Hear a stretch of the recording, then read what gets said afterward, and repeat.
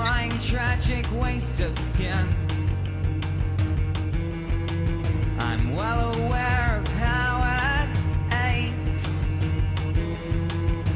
And you still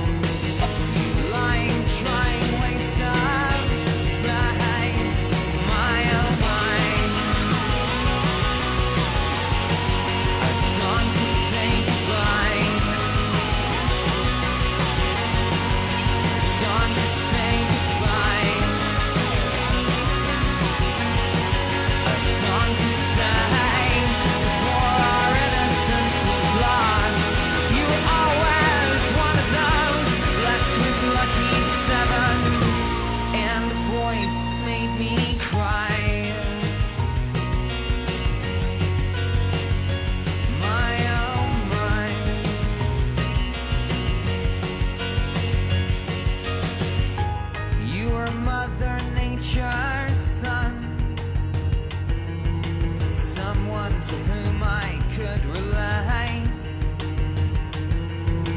Your needle and your damage done